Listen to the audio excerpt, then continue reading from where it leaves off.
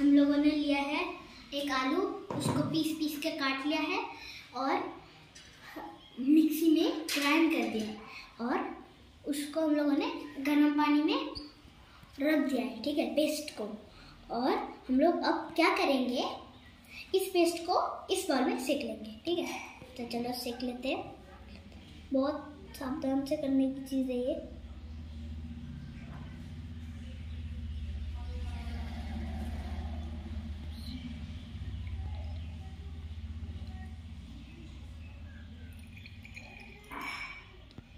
Okay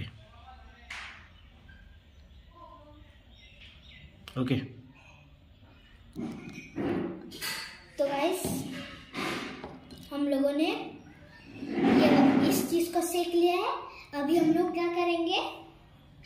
ये जो testing का ये जो है ना इसको क्या बोलते थे? आयरन आयोडीन हाँ आयोडीन सोल्यूशन इसको हम लोग इसको इसमें डाल देंगे। सारा ही डाल देंगे। सारा का सारा गया ओ गाइस देख सकते हैं ओ मिला देते हैं तो गाइस ये देख सकते हैं आप लोग. कलर तो ब्लू जैसा नहीं हुआ है, पर ब्लैक ही हुआ है ब्लैक ठीक है?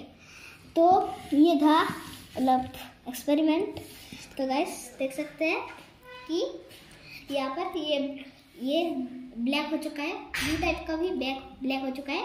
और लाइक सब्सक्राइब शेयर ज़रूर से कर देना। तो आलू में क्या है?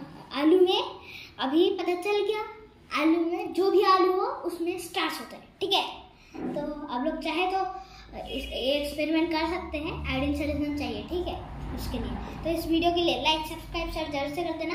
तो मिलता है अगली वीडियो में तब तक के लिए